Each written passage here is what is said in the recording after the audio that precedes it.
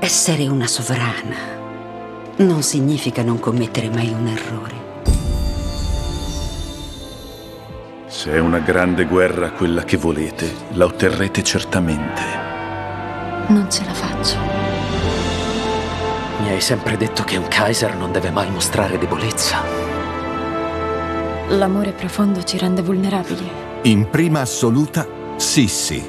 Ultimo appuntamento. Martedì in prima serata su Canale 5.